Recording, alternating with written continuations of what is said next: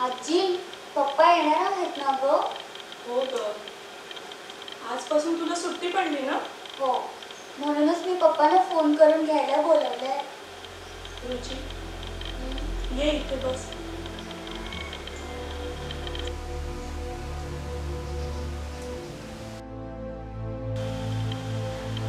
आजी काय झालं? तुझ्या डोळ्यात पाणी? नाही ग. असंच जरा मन भरून आल्यासारखं झालं. का बरं असं? बोल ना आजी. अगं तुझ्या आईला जाऊन सहा महिने झाले. तेव्हापासून तू माझ्याच जवळ आहेस. आणि उद्या तू जाणार तेव्हा मला एकटं एकटं वाटणार. अगं आजी फक्त पाच दिवसांचाच प्रश्न आहे ना? नंतर परत येणारच आहे मी. हो ग बाळा. आणि पाच दिवस माझ्यासाठी पाच वर्षासारखे. आजी मला पण तुला सोडून कुठे जावंसं वाटत नाही ग. पण पप्पा पण तिकडे एकटेच असतात ना. मी गेले तर त्यांना तेवढं बरं वाटेल ना. हो ग बाळा. तर मी तुला पाठवते ना.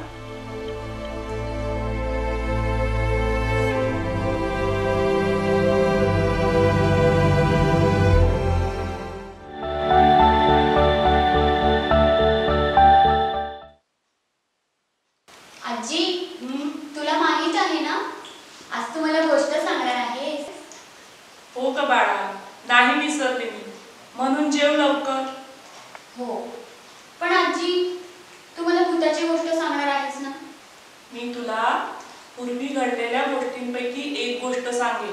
हो. पण भूताची पाहिजे. हो ग बाई भूताचीच सांगेन. आता जेव बघू लवकर.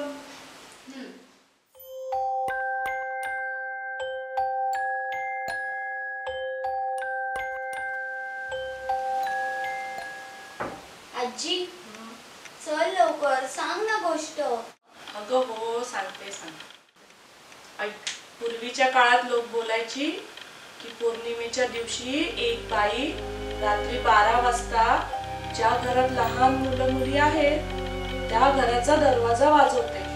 मग? पण तिची दरवाजा वाजवण्याची पद्धत वेगळी आहे हा? म्हणजे? ती फक्त तीन वेळा दरवाजा वाजवते. तीन वेळा दरवाजा वाजवून समोरच्या व्यक्तीने दरवाजा उघडला नाही तर ती तिथून निघून जाते. पण आजी ती बाई नक्की असते तरी कोण? अगं तिला जखीम बोलतात. हा एक भूताचा प्रकार आहे. आजी जर एखाद्याने दरवाजा उघडला तर? जर एखाद्याने दरवाजा उघडला तर ती एक सुंदर बाईच्या रूपात घरात येते. आणि रात्रीचे एक वाजल्यापासून तर तीन वाजेपर्यंत ती तिचे खरे रूप दाखवायला सुरुवात करते.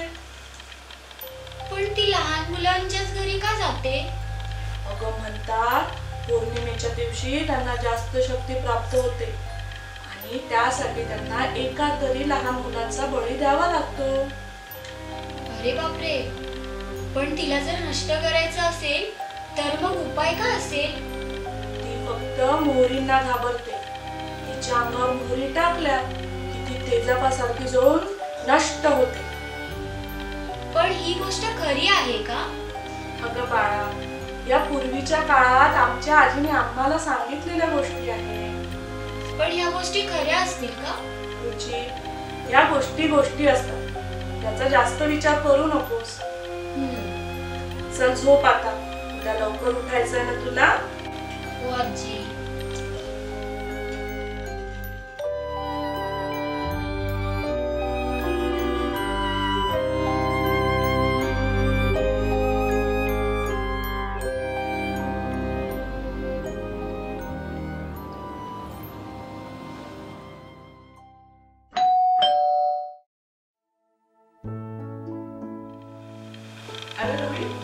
आत ये.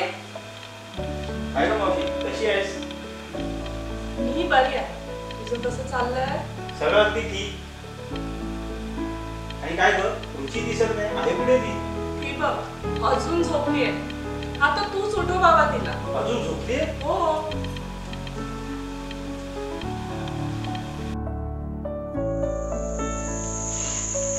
रुची हे सोनू. उठ ग. रुची बाळ उठ आता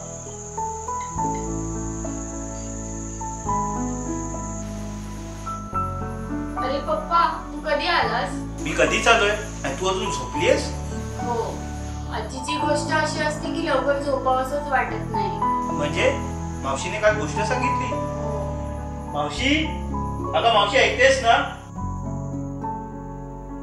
काय रे? काय झालं ओरडायला? तू सगळ्या गोष्टी हिला सांगतेस मला एकही गोष्ट सांगत नाहीस. तुलाही सांगेन. ये एक दिवस इथे राहायला. म्हणजे अख्खी रात्र तुला गोष्टी सांगेन. चालेल नक्की. रुची बेटा उठ आता. चल आपण जाऊया. पप्पा नाश्ता करूनच निघूया.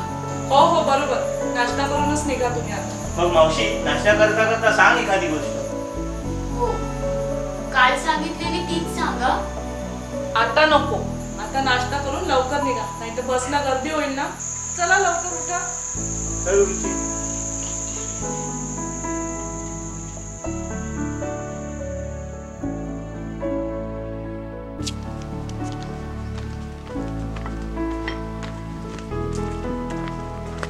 पप्पा हा, एक विचारू? विचार ना. भूत वगैरे असं काही असतं का? काल आजी सांगत होती. काय सांगितलं मावशी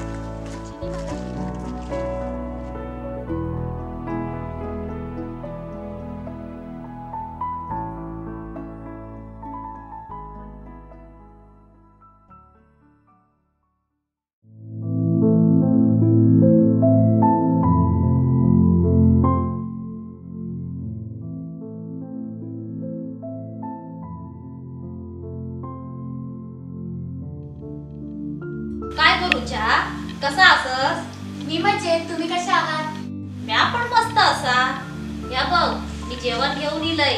जेवून घ्या दोघांनी पण. पण काकू तुम्हाला कसं माहीत आज आम्ही येणार आहोत ते? अगो सकाळी माका रोहिल्यान सांगितल्यान हो मीच बोललो होतो. काय करूच्या तू माका सांगितलंच नाही. आजीची तब्येत कशी आधी? तब्येत पाणी बरी असा ना तिची? हो आजी पण मजेत आणि माका माहीत असा आजी एक सवय हा गोष्टी बिष्टी सांगूची. तुका पण सांगितल्या नसल हो कालच आजीने.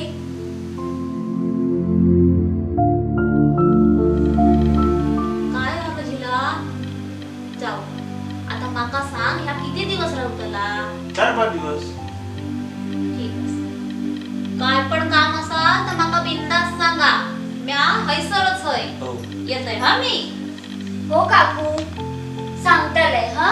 कशाला उगाच चेष्टा नव्हती काकीची जाऊ दे रे जिला. चेडू माझा लहान हा. येतोय.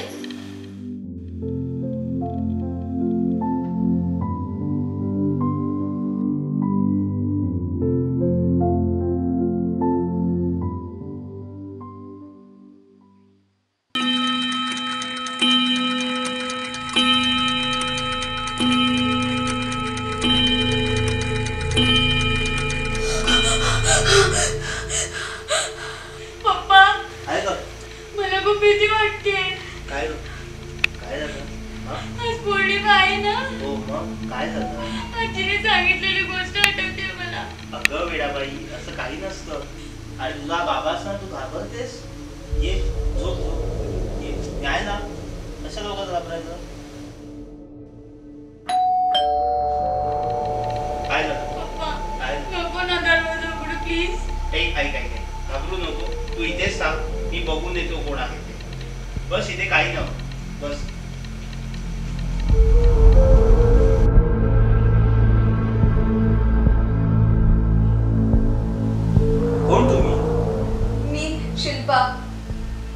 काम होतं का? मी काही मदत करू शकतो का? हो. माझ्या बाबांची तब्येत अचानक बिघडली. प्लीज तुम्ही माझ्याबरोबर येता का? हो येतो. दोन मिनिटं तुम्ही आज या ना. मी माझी बॅग घेतो. मग आपण दोघं एकत्र जाऊ. या ना प्लीज. हाय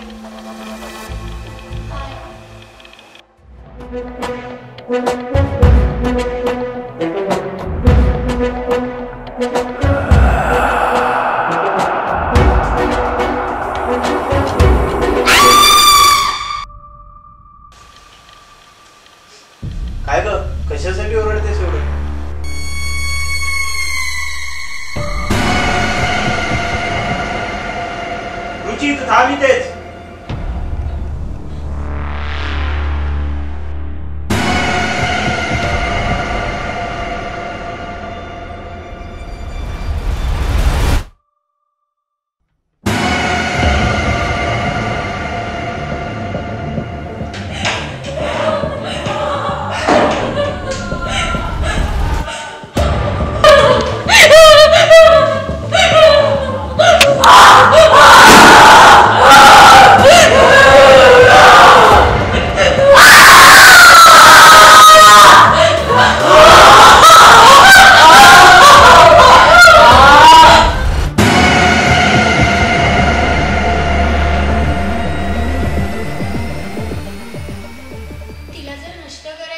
असेल तर मग उपाय का असेल?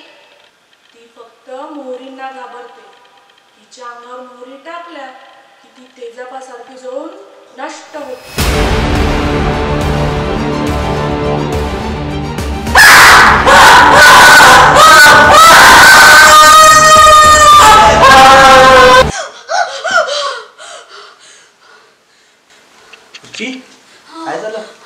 स्वप्न पडलं. एवढं भयानक स्वप्न? अगं स्वप्न स्वप्न असतात. त्याला खऱ्या विषयाशी काही संबंध नसतो. हा? उठ आता. फ्रेश हो.